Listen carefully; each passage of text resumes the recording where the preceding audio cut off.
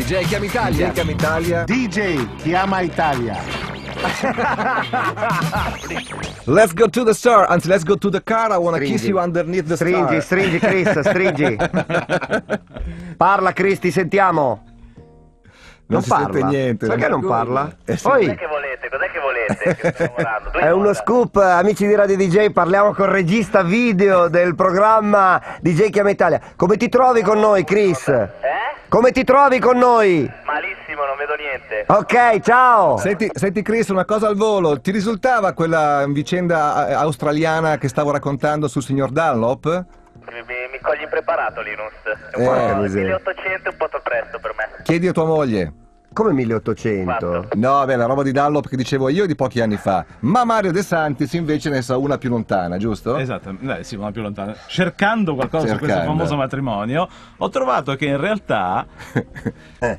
Ehm, eh, il, eh, Il fondatore della Dunlop. Dunlop era un signore che... mm, Oddio, adesso ho pensato- ho trovato un'altra Ma cosa. raccontala come la raccontavi a me prima. Non guardare qua. No, esatto, perché l'ho presa al volo e Eh. vabbè. Comunque che eh, aveva un, era un veterinario che aveva un, ehm, un bambino, Un di tre bambino. anni che aveva il triciclo Ok. e per aiutare questo bambino di tre anni col triciclo a non rompere Che aveva le ruote di ruote, metallo, immagino, fosse di metallo, legno. eccetera, inventò la camera d'aria. Cioè, Vedi? Si, si- si inventò una cosa. te. Veterinario, capito. al veterinario, Eh. però si, si industriò e Che scintilla. Me lo prendi lì- papà. Questa cosa di te che consulti il computer così, mi fa venire in mente un signore che conosco, un signore molto per bene tra l'altro, che è un grande appassionato di sport, di tennis Sì. in particolare, Sì. però ogni volta che ci parlo di tennis appunto in televisione gli dico ma chi è che ti piace come commentatore? Lui odia tutti quanti quelli nuovi perché dice che secondo lui è troppo facile fare il telecronista ai giorni Ah, d'oggi. Perché? Che tu sei a casa e hai, anzi sei in studio e hai il computer davanti. Ah, e quindi se tu quindi commenti il Tour consulti. de France Eh e passa Zandegu, Certo, certo. che ovviamente corre ancora e gareggia ancora, Vabbè, tu in tre secondi Google- sai chi è, dove è nato, cosa Chiaro, ha fatto, quanto chiaro, ha vinto, chiaro, chiaro. oppure commenti gli incontri di calcio e di ogni giocatore sai quante partite ha segnato, quante... Sì, sì, sì, è vero, è vero. Eh, vabbè, insomma, sono aiuti che arrivano dal Sì, computer. però posso dire, non a difesa, ma insomma, parziale giustificazione, che la telecronaca di quel signore lì era molto più lenta e doveva dare Mm. No, un certo. decimo delle informazioni che danno i telecronisti oggi che non potrebbero. La canzone appena ascoltata, qui chiudiamo il cerchio, di John Legend, si intitola con una sigla puntata proprio come FBI, cioè PDA, che potrebbe essere Personal Digital Assistant, cioè in sostanza il computer portatile. Ah, vedi, Ah, vedi, vedi. Allora, 10 e 21, possiamo fare le tre notizie più belle? Le tre notizie più belle! Perché insomma noi alla mattina durante la riunione commentiamo un po' i giornali, ho chiesto che ci fosse con noi anche Stefano Monticelli per fare che cosa? Niente. Niente, niente, Però noi vogliamo contempla, bene. contempla, noi facciamo le notizie. È già la con- seconda volta che mi chiamate non mi- e che sono qua a far Fa niente. niente, ti preoccupare. ci fa Eh. sentire bene, fai- stai qua, Ci stai fa qua. sentire Va bene. bene, Stai ragazzi. qua. Allora, le tre notizie più clamorose, se vogliamo. La prima arriva dagli Stati Uniti. Sì. George W. Bush, dopo il fallimento della guerra in Iraq, correggimi se sbaglio, Mario. Non è ancora fallita, però diciamo è sulla buona strada. Sì, ecco, insomma, no? deve recuperare un po' e soprattutto eh, nel suo paese comincia a sentirsi la crisi petrolifera e il consumo di energia, comincia a farsi Certo. insomma, sentire. Sarà forse perché le utilitarie sono 5.000 di cilindrata.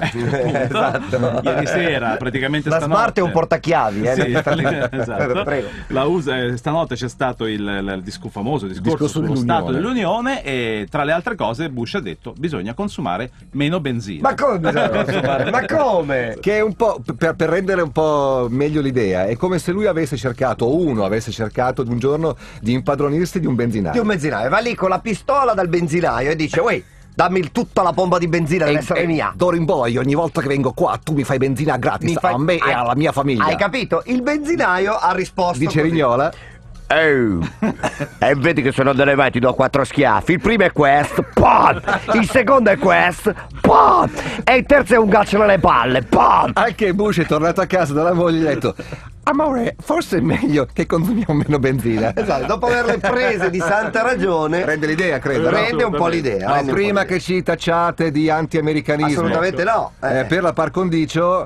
Ma che cazzo si fumano nel, nel nostro. eh, A rifondazione a comunista. rifondazione non so se comunista? fumano extracomunitario o comunitario. Secondo me extracomunitario. Ma è la presenza di Caruso lì che- afgano.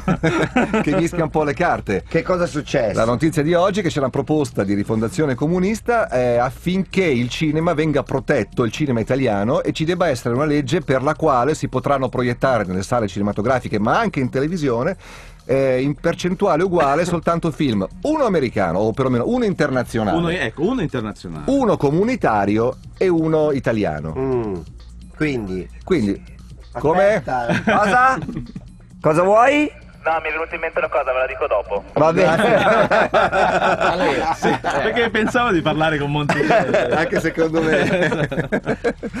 e, e- e quindi per legge noi non potremo più vedere tanti bellissimi film americani, ma vedremo tanti meravigliosi film italiani. Eh, mi sembra un po' una è evidentemente cosa- perché quando si ha a che fare, ma veramente lo dico dal profondo del cuore, con una forma d'arte, non la si può gestire con i meccanismi e con i regolamenti. no? Certo, Il certo. protezionismo, l'assistenzialismo ha già fallito con la Cassa del Mezzogiorno Questa e con un- tutti gli altri esempi. Questa è un'altra delle politiche illiberali della sinistra. Eh, mi sembra veramente fuori luogo. Insomma, tant'è che la maggior parte dei registi Tutti, intervistati, tutti, sì, esatto. quelli con un po' di spessore, a parte No. Neri Parenti, si sono dichiarati no, con- con- contrari. Eh, sì. Soltanto Neri Parenti appoggia la che- proposta, ha- giuro. non lo so. Neri Parenti ha così commentato. Ole! Anche se non lo Ole! Non sono sicuro perché per esempio con questa legge neanche il film di Monicelli sarebbe eh, italiano Perché? Considera- perché è stato Perché hanno usato in Nord straniere. Africa e E a hanno parte usato- gli sì, attori sì. e neanche tutti eh, il resto erano tutti E poi due cose. Ma se il manifesto tutto il giorno continua a consigliare film iraniani, coreani, afghani. Kinky Duke a naturalmente ho, ho consigliato Pierpaolo ho consigliato Kinky Duke Certo, naturalmente Gianandrea. Kirusawa Akira Kirosawa E poi è come, se, è come se uno per legge, per continuare con il gioco delle metafore, ci imponesse che nelle barzellette non possiamo più dire un italiano, un tedesco e un francese, ma un italiano, un comunitario, Un comunitario e un un- extracomunitario. Ma per legge, oh, c'è un po' di creatività qui dietro. Esatto, esatto. Chiudiamo con l'ultima notizia, la più bella di tutte. La che è importante anche, lasciamelo dire, collega. Che però mi toglierà il sonno fino al 5 di febbraio. Perché? Perché il 5 di febbraio uscirà eh, l'album delle figurine dei VIP, ideato da quel genio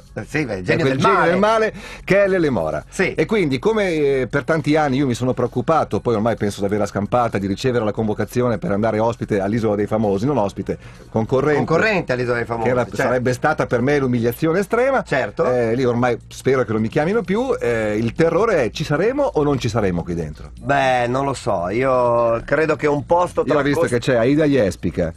C'è, c'è Ringo, c'è Valeria Marini, c'è Naike Rivelli, la figlia di Ornella Muti. Io ti dirò, tra Naike Rivelli e Aida Jespica ci starei, diciamo, come sandwich. Poi vedi un po' tu, insomma. A me non dispiacerebbe. Anche solo come figurina. Comunque, fino al 5 febbraio io non ci dormo. DJ Chiam Italia. DJ Chiam Italia. DJ chiama Italia.